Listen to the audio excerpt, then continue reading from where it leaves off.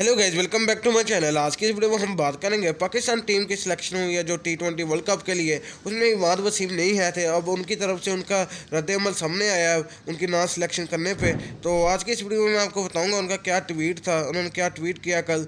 तो आज की इस वीडियो में इस ट्वीट के बारे में बात करेंगे। वीडियो शुरू करने से पहले आपसे गुजारिश है, अगर आप हमारे चैनल पर न्यू हैं तो इसे सब्सक्राइब कर लें। अगर आपको वीडियो अच्छी लगी तो इसे लाइक कर दें और बेल नोटिफिकेशन को ऑल पर कर दें ताकि हमारी वीडियो की नोटिफिकेशन सबसे पहले आपको मिल सके। तो बिना किसी देरी वीडियो करते हैं शुरू।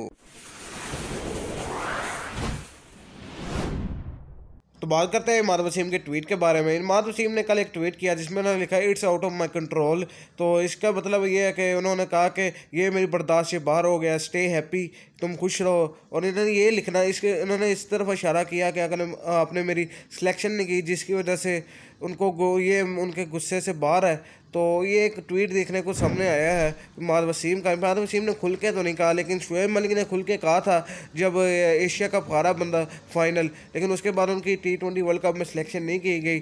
तो इस चीज़ को मद्देनज़र रखते हुए जो माद वसीम है, उन्होंने छुपते लफ्ज़ों में कहा कि ना, जिसका कोई मायने हो, लेकिन उन्होंने इशारा इस तरफ़ भी किया है। आपको क्या लगता है माधव सिंह को खिलाना चाहिए था T twenty world cup twenty twenty two में। अपनी राय का इजहार कमेंट बॉक्स में करें। अगर आपको वीडियो पसंद आई तो इसे लाइक करें और चैनल को सब्सक्राइब करना ना भूलें। मिलते हैं अगली वीडियो में।